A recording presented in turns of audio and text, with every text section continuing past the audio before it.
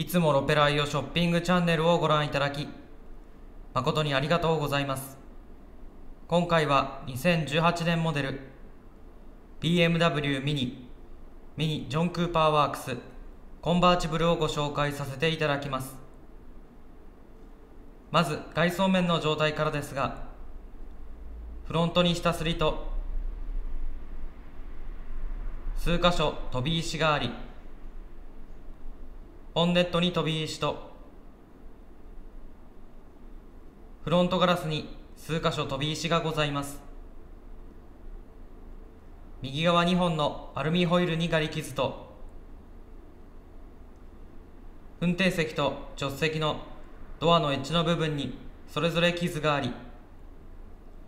トランクパネル部分に線傷がございます。走行距離に関しましては約2万キロと低走行なお車です。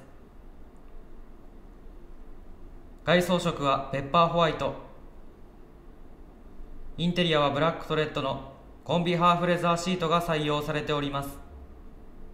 ミニコンバーチブルをベースにジョン・クーパーワークス専用装備チューニングが施されたハイパフォーマンスモデル。ミニジョン・クーパーワークスコンバーチブルでございます。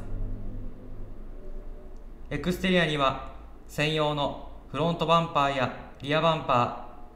ー、センター2本ダッシュマフラーなどが備わり、迫力のあるデザインを演出しております。また、走行性能やデザイン性だけではなく、純正のハードディスクナビゲーションやシートヒーターをはじめとする快適、便利装備も充実した1台です。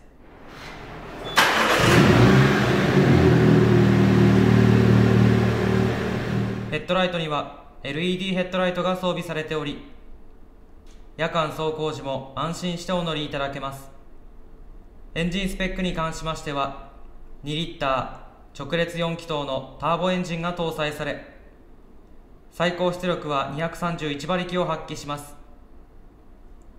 アルミホイルは純正の18インチアルミホイルが装着されており、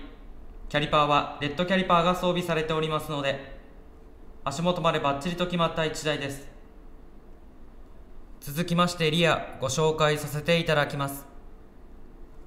マフラーはセンター2本出しのマフラーが装備されておりジョン・クーパーワークスらしい力強いサウンドを楽しみいただけます。合わせてトランクスペースのご紹介です。トランクの開閉は手動で行っていただきます。